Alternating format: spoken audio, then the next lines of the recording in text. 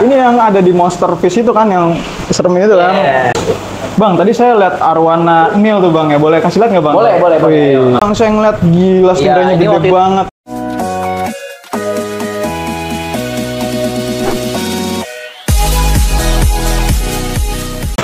Oke, welcome back di Ikanesia bareng gue Farhan. Hari ini gue lagi main ke showroomnya Body Fish punya Bang Ricci. Salam kenal bang.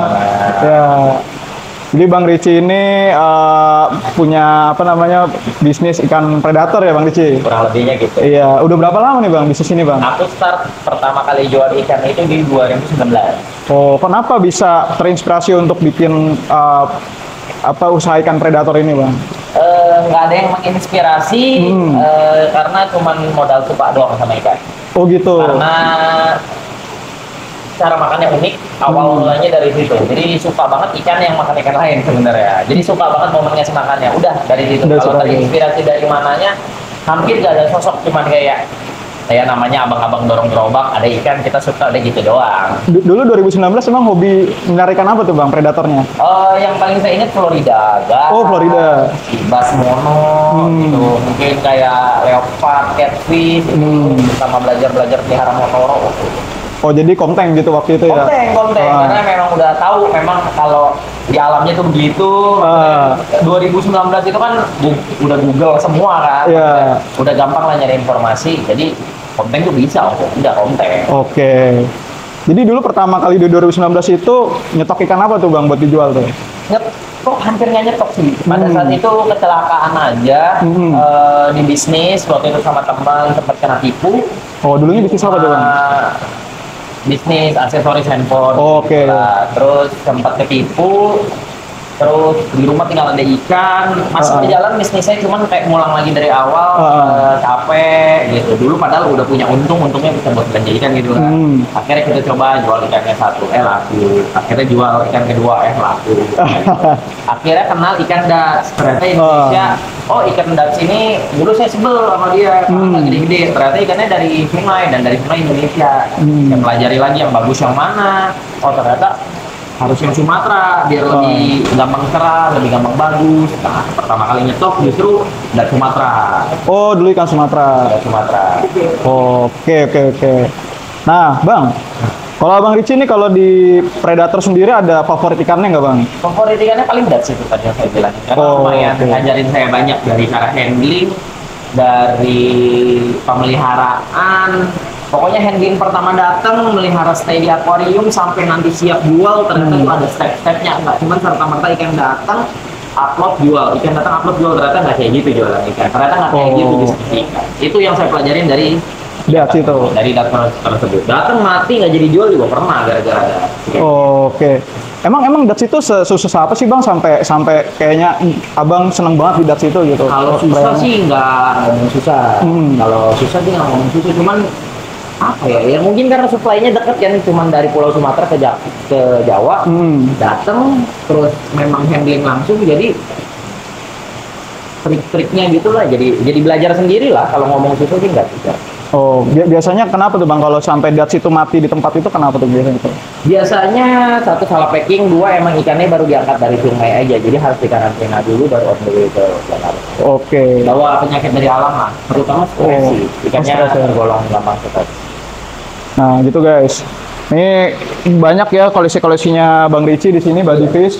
Nah, ini Bang, eh, saya nih ngelihat eh, akuariumnya nih bener-bener kristal clear banget Bang. Ini kan impian para hobis ya. Enggak juga lah, kotor-kotornya dikit lah. Ya, nggak nggak kelihatan banget lah. Pupuknya masih ada. Dikit aja. Ini ada ada ininya nggak sih Bang? Apa, Apa? namanya? Ada rahasianya nggak sih Bang bisa kristal clear Oh, begini? nggak ada semua. Nggak ada. Nonton di channel saya tiap hari mau YouTube, IG, TikTok semua udah saya jelasin gimana caranya, tinggal mau eksekusi atau enggak. Ah, kalau, kalau mau tahu berarti nonton Body Fish ya. rahasia udah nggak ada lah. Justru saya yang lebih banyak mengedukasi kalau mereka nggak tahu bahkan saya kasih tahu. Jadi kan bukan Oh. rahasia dong apa? ya?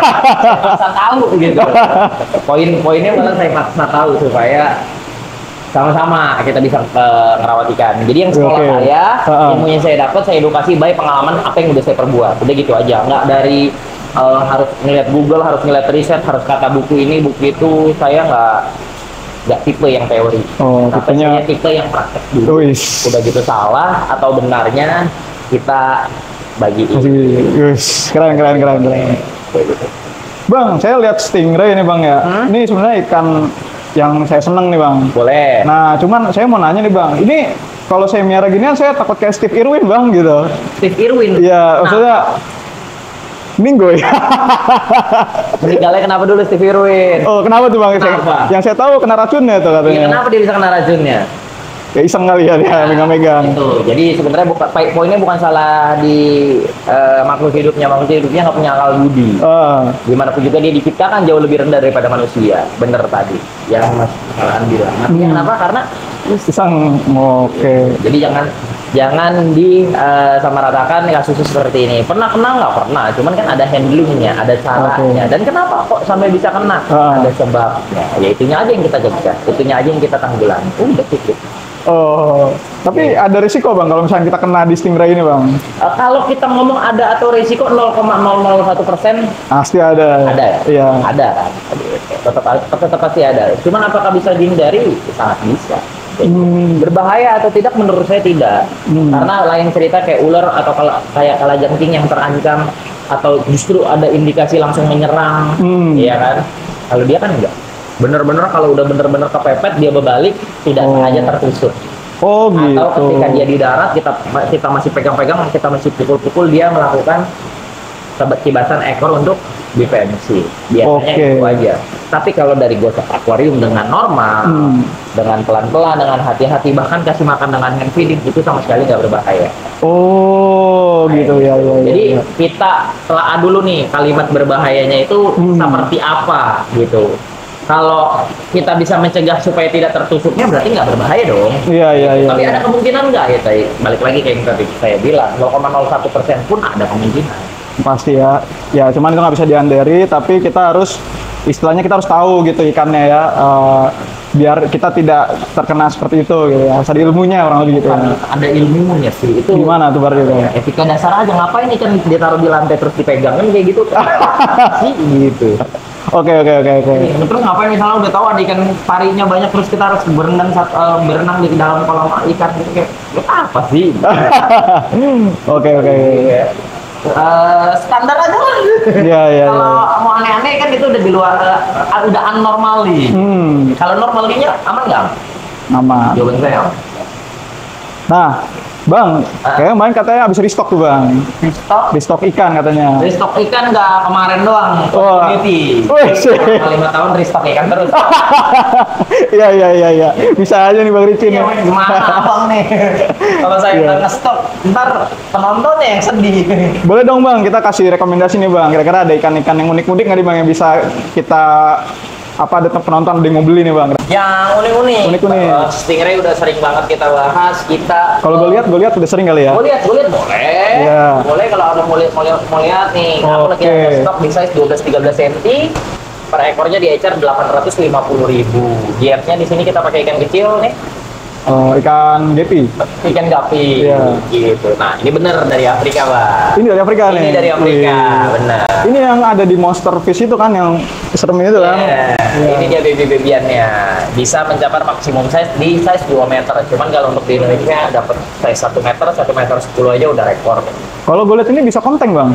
Bisa. Bisa juga ya. Bisa, ya. cuman eh, wadahnya aja yang perlu lebih besar. Oke. Dan memang ikannya cenderung apa ya nggak nggak terlalu iseng sih kalau menurut saya Oh. pribadi. Cuman ada beberapa kasus ketika mendapat pergerakan tiba-tiba jadi agresif. Gitu doang Oh. sih. Tapi kalau kita ngomong rata-rata Hmm. sering kontak. Berarti cuman mukanya doang yang serem nih Bang ya? Iya. Ini eh, kalau apalagi saya saya segini masih kagetan banget sama orang. Oh. Apalagi Bang, apalagi Bang? Seru nih, seru, seru, seru. Boleh. Ini kita lagi belajar juga nih ada baby ducks. Baby ducks itu lagi musiman yang kayak tadi saya bilang. Hmm. Ini yang agak gedenya ini sekitar hampir 10 cm. Hmm. Ini di bawah ada yang ukuran 5 cm. Ini Sumatera semua ya. Oh, Sumatera ya. Aku rajinnya nyetoknya yang Sumatera. Kalau yang Borneo aku nggak gitu tertarik. Karena Oh. ini buat pasar lokal atau sedikit buat ekspor. Yang ini size-nya masih 3-4 cm. Pokoknya masih ada lah. Ini baby zebrina lagi. Bang, saya mau nanya deh bang, yang Boleh. Hmm. masalah Dutch bang. Dulu sekitar lima tahun yang lalu saya sering lihat Dutch yang warna kuning bang. Terus sekarang udah jarang hilang ya. Dan yang warna kuning, Iya, kuning. seperti apa nih? Kuning sama ada barnya hitam gitu, kuning hitam gitu. Udah jarangnya kenapa? Karena kalau yang dibilang kuning itu biasanya Sumatera dan benar. Oh, gitu ya? Iya dan benar kalau supplier dan Sumatera itu rata-rata sedikit. Hmm, Gitu. Yang banyak itu dari Kalimantan. dari Kalimantan. Ditambah lagi sellernya mau nggak nyetok dari Sumatera karena notabene lebih mahal. Oh, oke oke oke. Kalau dat- dari Kalimantan lebih murah. Kenapa bisa begitu bang ya? Ah, Kenapa bisa begitu ya? hmm, supply-nya mungkin lebih banyak di Kalimantan. Oh, lebih ke arah supply-nya lah ya. Supply-nya mungkin lebih Hmm. banyak nih. Cuman nggak tahu dari nelayannya memang harganya beda. Oh gitu ya. Apalagi bang, apalagi bang. Kita lele-lele. Keren kayaknya keren nih. Ini ada granulosus. Nah, ini murah juga. Ini 12 cm, harganya 375.000 aja. Mumpung lagi promo nih di Body Fish. Nih, ukurannya 10-12 cm. Pletodoras gra- granulosus. Nah, ini Oke. tadi nih. Ah ini nih. Strenicilla yang tadi saya Oh bilang. yang siklip ini. Ya, ini Jebrina. Ini Jebrina 30%, ini Red Atabapo. Lihat aja warnanya udah Ush, banget keren ya. Makanya saya mau ngegedein itu supaya dapat size dan warna-warna semewah ini. Oh jadi mau digedein jadi kayak gini nih bang. Benar, benar bisa banget. Berapa lama bang kalau jadi segede gini bang? Siklip ini. Dua tahun. ada lagi bang, ada lagi yang yang yang ini, Apa? yang unik-unik lah. Yang unik-unik. Hmm. Apa ya? Ya paling ini di sini ada beberapa jenis catfish, ada flavican, ada Wertemeria maculata, ada jauh catfish, sama ada deh paling itu bang. Jauh catfish tuh di ujung ada satu. Ini flavican catfish, uh, moonlight catfish ini ukurannya 18-20 cm. Tuh, dan bertigaan di tengah Wertemia maculata. Ukurannya paling ya 12 cm itu. Ini ini dari mana bang? Baru lihat saya nih. Ini Kolombia juga. Columbia juga. Peru masih ikan ikan Amerika Selatan. Oh, ini semua Amerika nih bang. Iya, iya. Wih, oke oke oke. BTW kalau misalkan ikan predator itu emang airnya harus ini ya bang ya harus Apa harus filternya harus bagus ya. gitu. Filternya harus bagus karena menopang eh, biolog dia banyak. Oke. Karena kan dia makannya juga ikan kecil lain kayak mau nggak mau ikan pakannya aja ngeluarin amoniak juga. Dianya ngeluarin amoniak juga. Hmm. Jadi harus di atas rata-rata. Bang, tadi saya lihat arwana nil tuh bang ya. Boleh kasih lihat nggak bang? Boleh, boleh, boleh. Mau cek stok arwana nil. Tapi di depan rada gelap nggak apa-apa ya. Ya. Oke, ini sekarang lagi ada di arwana nilnya Bang Ricci nih. Iya, iya. Wih. Sekarang ini ukurannya kurang lebih 2628, Bang Farah. Wih. Arwana Nil adalah satu-satunya arwana yang dari benua Afrika. Makanya dibilang arwana, Arwana Nil. Nil. Sungai Nil gitu. Kurang lebihnya bentuknya mirip seperti Arapaima, Oh, tapi iya. dia versi baik dan mukanya lebih lucu dan lebih imut-imut. lebih banyak dipakai untuk tengmet-tengmet dibanding untuk tank, eh, ikan predator karena sejatinya dia lebih doyan cacing dibanding ikan kecil. Oh. Gitu. Jadi makanan utamanya justru ini cacing ataupun pelet. Dibanding ikan kecil dia lebih pilih eh, cacing. Jadi kalau ada casut, cabai itu dia nggak terlalu mau makan ikan kecil sebenarnya. Berarti dia kayak ikan koi gitu dong bang? Oh enggak juga sih. Enggak ya? Enggak juga. Dia lebih apa ya ya begitulah. kalau dijelasinnya kalau dibandingin sama koi jauh sih jauh jauh. Jauh ya. Jauh jauh. Sampai Tapi koi. ini sama kayak arwana bang, bisa gede juga gitu. bisa ini bisa sampai 80 sampai 100 cm. Wush. Ini 80 sampai 100 cm. ini kalau ada yang mau beli berapa bang satunya bang? Ini per ekornya kita incar 1.500.000 Satu juta lima ratus ya. masih sangat-sangat terjangkau kan dengan ukuran medium Sangat terjangkau sekali. cakep nih ukurannya sejengkal lebih nih 26 28 cm Nih guys, kalau gue sih ngerasanya nih kayaknya sebulan lagi nggak nyampe sebulan, kayaknya habis bang ya. ya belum diposting sih ini Eh, belum diposting nih ya. nggak apa-apa ntar naik Nah. di sini duluan aja Langsung aja nanti ke Bang Ricci di Body Fish ya. Nah nih bang, ini terakhir nih bang, saya ngeliat gila Iya, ini gede waktu itu- banget. Iya, ini Beneran waktu itu udah sempet kita posting, cuman kebetulan pas laku eh hamil Hmm, kondisinya Big Mama ini, Big Mama Stingray ini lagi hamil. Mungkin ya sekitar tiga mingguan lagi lah dia beranak. Tebakan kita 21 hari yang lagi lah dia beranak. Kok bisa tahu beranak dari mana dong? Apa itu? Apa kayak ada pantatnya itu? Iya, Oh, gitu dari ya? sisi eh, volume perutnya itu udah sangat lebih membesar lah. Lebih membesar. Iya. Gitu. Jadi biasanya kalau dari membesar itu udah nggak jauh eh, perkiraan hari lahirnya. Kalau beranak berapa? Ih, berapa ya ekor? Rata-rata 3 sampai 4, tapi kita lihat ya. Oh berarti kayak kucing gitu ya? Iya. Kalau ikan lain kan kayak ratusan. Iya, iya, Ini kayak kucing lah kurang lebih. Oh, Oke oke oke oke. Oke. Oke guys, berarti gitu aja hari ini gue udah seneng banget main di tempatnya Bang Ricci Gue nih. juga seneng dong. Wih. Ini nambah Dari- baru, nambah link baru. Udah dikasih kesempatan sama Bang Ricci buat Siap. ngeliat-lihat ikannya nih. Jadi kalau misalnya lu semua yang lagi pengen ikan-ikan predator, apalagi ikan-ikan yang impor ya Bang ya. Siap. Sama yang langka, lu bisa nih main ke Instagramnya Bodyfish. Di situ ada kontaknya, nanti lu bisa langsung berhubungan dengan Bang Ricci. Betul. Langsung sama saya sendiri tidak pakai admin untuk membalas kecuali Wih. kalau minta video. Udah itu doang. Berarti nanti gratis foto bareng nggak Bang? Kalau ada yang beli. gampang, gampang. Cuman kan rata-rata kita ngejala, eh, nge- ngelayaninnya secara online ya. Kalau Iya. di sini pasti foto bareng. Kalau online gimana cara foto? Parah nih, ada-ada aja nih. gratis foto close up gitu Bang Oh, di, di ikannya. jangan, jangan, nanti disalahgunakan.